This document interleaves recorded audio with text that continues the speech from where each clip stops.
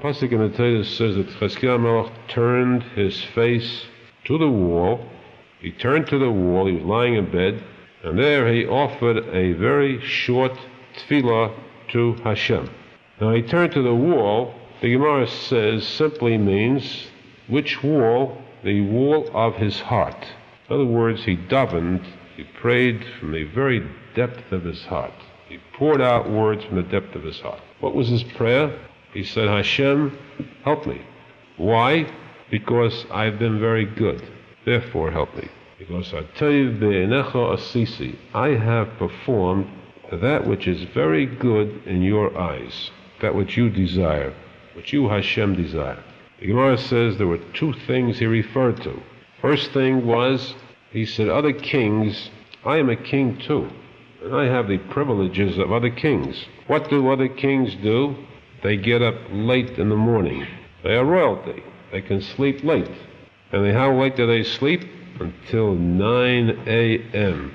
The unsightly hour, the unheard of hour of 9 a.m. in the morning. Peasants, ordinary people get up earlier than that. These members of royalty sleep to the very late hour of 9 a.m. Well, I never sleep that late.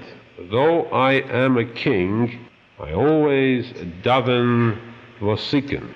Vosikin means that I daven in the morning, I finish the Kriya Shema, I start the Shemona Esrei at exactly the second, the moment of sunrise. This is davening vosikin, and this, the Gemara says, is the act, the tefillah of a pure tzaddik. This is what Cheskia Melech prided himself with and said to Hashem, For this mitzvah alone, I deserve to be given long life rather than death. Now, this, of course, is a message to every Jew. It is not that difficult to daven vosikin. I note that everybody is here today. Nobody got sick. Those who davened with us this morning, we davened vosikin this morning. No one is the worse off for it. And certainly our neshamas are far better off by having davened vosikin this morning. For every morning that we can accomplish this, it is not difficult. Summertime, when it gets to about 3.30, a little bit. But meanwhile, the mitzvah of davening vosikin can be accomplished by every single person, even the laziest of people, because who gets up later than that? We can't imagine recurring to a Jew who must go to shul and daven, and then he must eat breakfast. That's compulsory too. You have to wash for breakfast, pas shachris, and then go to work. So certainly is simple enough. Is a mitzvah that is this important where Cheskia Melech spoke with pride about it and said this is worth life.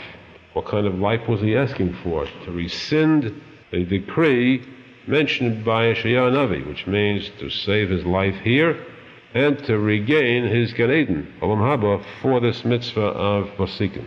What is so important about Vosikin too? The Benedal says that Vosikin means that the exact stroke of sunrise to be Semech Geula Letfilah.